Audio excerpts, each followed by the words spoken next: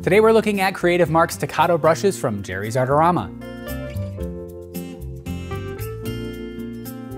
I am Scott with Artist Network and host of Drawing Together. And when I'm painting, I have needs for different brushes, both soft and stiff brushes. But it's hard to switch between the two when I'm painting. So these staccato brushes made by Creative Mark have a unique blend of both fine and thick synthetic fibers. So they work great with a variety of media, from acrylic to oils and more. So the thick hairs that are distributed throughout the bristle are great for heavy paint and it gives structure to the brush. The fine hair allows artists to load the brush with thin paint and water, giving you control over washes and glazes. They also have a really nice tapered edge for precise control over your strokes. There's a nice spring to the bristles as well, giving me control over the pressure and allows me to evenly deposit the paint and control the brush strokes really well.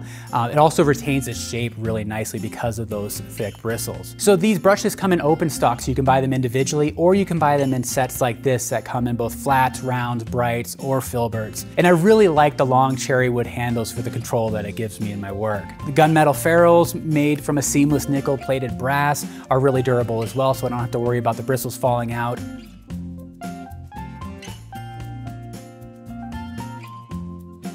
So these are great affordable brushes. Go to jerrysartarama.com to learn more. They're awesome brushes to have in my studio and they'll be great to have in yours.